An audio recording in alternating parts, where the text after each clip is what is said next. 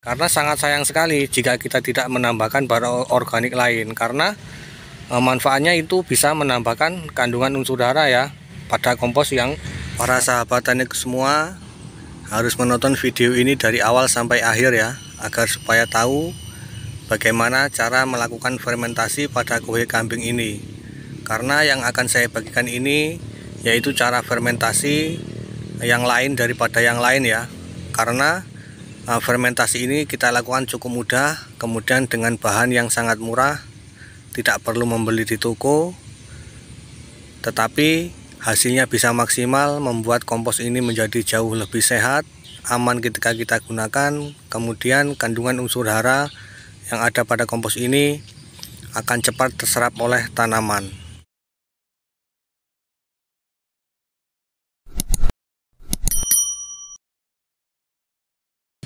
Assalamualaikum warahmatullahi wabarakatuh. Salam semangat para sahabat teknik semua Di mana pun anda berada. Oke berjumpa lagi bersama channel belajar organik. Di video kali ini channel belajar organik akan membagikan uh, Cara fermentasi kue kambing ini Agar supaya uh, Ketika kita gunakan nanti Kue kambing ini uh, Sudah tidak membahayakan lagi pada tanaman kita. Karena biasanya kue kambing yang Eh, masih mentah ataupun belum selesai masa fermentasinya itu akan memberikan dampak yang buruk pada tanaman kita.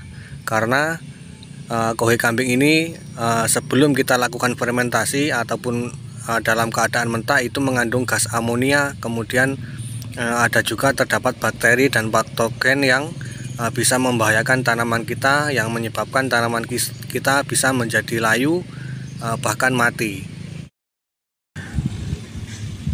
para sahabat teknik semua. Jadi di video sebelumnya saya juga pernah membagikan cara uh, untuk mensterilkan dan menghaluskan kohe kambing ini ya. Uh, agar supaya bisa kita gunakan secara cepat. Misalkan kita uh, membutuhkan secara mendadak sedangkan kohe kambing kita uh, masih dalam keadaan mentah itu bisa kita lakukan dengan cara itu yaitu disterilkan uh, dengan merendamnya pada uh, cairan vanis ya karena cairan vanis itu mengandung hidrogen peroksida uh, tentunya itu mampu untuk membunuh uh, bakteri jahat kemudian patogen. Dan di video kali ini saya akan membagikan kepada para sahabat tani semua yaitu cara menghaluskan dan mensterilkan kohe kambing ini agar supaya ketika kita gunakan nanti tidak membahayakan pada tanaman kita Kemudian unsur hara yang terdapat di dalam kohi kambing ini bisa cepat terserap oleh tanaman kita, yaitu dengan cara eh, kita lakukan fermentasi ya para sahabat teknik semua. Oke para sahabat teknik semua, jadi tanpa berlama-lama, mari kita menuju ke e, cara e, fermentasi pada kohi kambing ini. Oke para sahabat teknik semua, jadi untuk melakukan fermentasi kali ini kita tidak menggunakan uh, decomposer uh, yang kita beli di toko ya. Jadi uh, fermentasi kali ini uh, kita menggunakan mol ya ataupun mikroorganisme lokal. Nah, kemudian mikroorganisme lokal ini uh, kita buat uh, menggunakan sisa nasi nasi yang sudah tidak layak untuk kita konsumsi ya ataupun nasi basi yang kemudian kita diamkan kemudian setelah ditumbuhi jamur seperti ini yang berwarna-warni ada yang oranye ada yang putih ada yang hitam ada yang hijau ini kita buat menjadi uh, larutan mol ya. Kemudian bagi para sahabat tani ke semua yang uh, belum tahu cara membuat mol uh, sahabat tani bisa melihat video saya yang ini. Jadi uh, di video saya yang tadi uh, sahabat tani semua bisa uh, tahu bagaimana cara membuat mol. Jadi nasi yang uh, kita diamkan itu kita buat menjadi mol seperti ini ya, larutan mol seperti ini. Nah ini sebagai dekomposer kita. Nah, kemudian yang uh, membuat lebih berbeda lagi, yang lain daripada yang lain, itu ketika kita fermentasi uh, kohe kambing seperti ini, itu kita bisa menambahkan bahan organik lain seperti uh, sisa sayuran kemudian uh, di sini ada daun-daun hijau kemudian ada daun kelor juga nah, jadi dengan kita menambahkan bahan organik lain itu kita bisa menambahkan unsur hara uh, dari hasil kita lakukan fermentasi kue kambing ini Oke, kita lanjut ke cara melakukan fermentasi. Jadi untuk yang pertama kita siapkan air sebanyak 15 liter ya. Jadi kita memerlukan air sebanyak 15 liter. Kemudian kita berikan e, larutan mol ini e, sebanyak 1 liter ya, sahabat tani semua.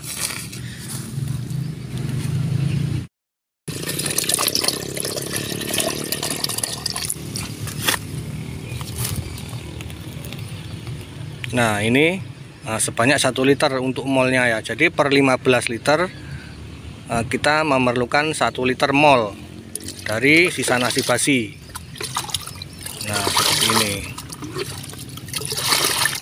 Kemudian setelah itu kita uh, lakukan pengadukan ya sahabat tani. Nah jadi setelah kita aduk seperti ini ini sudah siap kita gunakan untuk sebagai dekomposer untuk kita melakukan fermentasi pada kohe kambing kita. Nah kemudian untuk langkah-langkahnya jadi kita buat uh, lapisan yang pertama ya lapisan yang pertama yaitu kohe kambing dulu. Jadi kohe kambing ini sebagai lapisan uh, yang pertama ya. Kemudian uh, setelah kita buat lapisan yang pertama seperti itu kita bisa menambahkan Eh, bahan organik lain ya. Eh, seperti daun kelor ini ataupun sisa-sisa sayuran eh, dan juga daun lamtoro dan masa, masih banyak lagi ya bahan organik yang bisa kita tambahkan pada kompos ataupun fermentasi kue kambing. Karena sangat sayang sekali jika kita tidak menambahkan bahan organik lain. Karena manfaatnya itu bisa menambahkan kandungan unsur darah ya pada kompos yang uh, kita buat ini.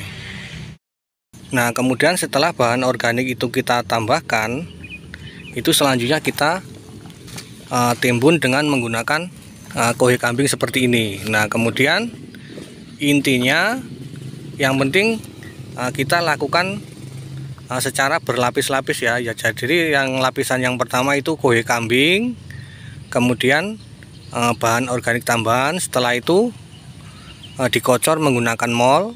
Kemudian kita timbun lagi menggunakan uh, kohe kambing. Setelah itu kita berikan uh, bahan organik tambahan lagi. Kemudian kita kocor. Setelah itu kita uh, timbun lagi dengan kohe kambing dan seterusnya sampai bahan yang kita punya itu selesai ya sampai habis ya. Jadi seperti itu caranya sahabat teknik semua.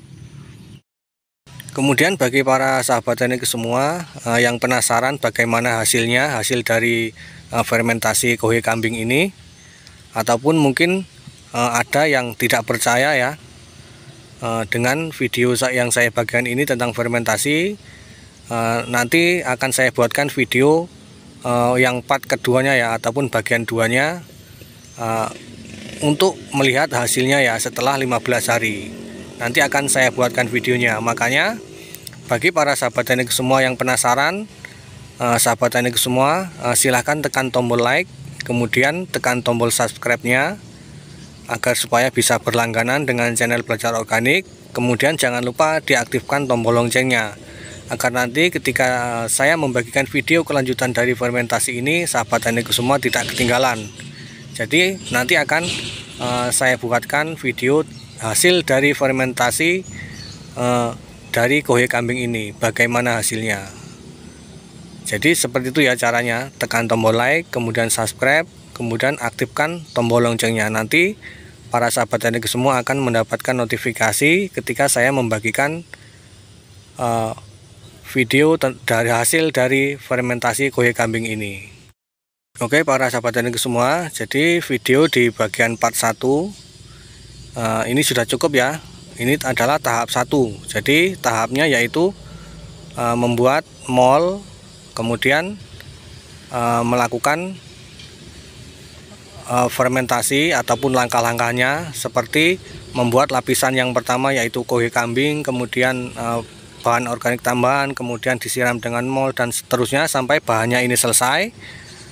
Uh, kemudian uh, kita tutup dan kita tunggu proses selanjutnya ya. Oke jadi uh, seperti itu tadi untuk video kali ini dan untuk kelanjutannya nanti akan saya buatkan videonya. Jadi semoga langkah-langkah yang pertama ini uh, bisa sahabat teknik semua pahami dan dipraktekkan. Dan semoga ini bisa memberi manfaat ataupun menambah uh, ilmu pengetahuan kita semua tentang pertanian. Dan selanjutnya saya mohon maaf apabila ada perkataan yang salah ataupun yang kurang. Saya mohon maaf kepada para sahabat dan semua. Dan saya akhiri. Assalamualaikum warahmatullahi wabarakatuh.